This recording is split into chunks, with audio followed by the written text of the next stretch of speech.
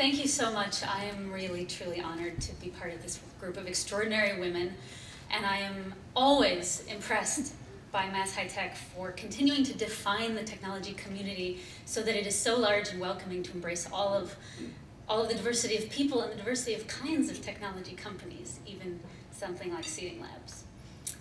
This has been a really hard month for technology. We've seen where it falls short um, and is often powerless against things like natural disasters or nuclear disasters. It's been a month in which two more countries, Zimbabwe and Thailand, have been added to the roster of countries facing acute food shortages and in which tuberculosis cases are on the rise in Britain, of all places.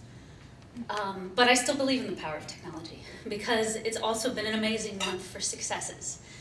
Last week, three of the world's largest food conglomerates joined with the US government to help African small food processors upgrade their technology. Yesterday, through the UN, Mongolia announced that they'll be building solar power stations in the middle of the Gobi Desert. Today, 33 countries are practicing a joint tsunami earthquake simulation drill in the Caribbean.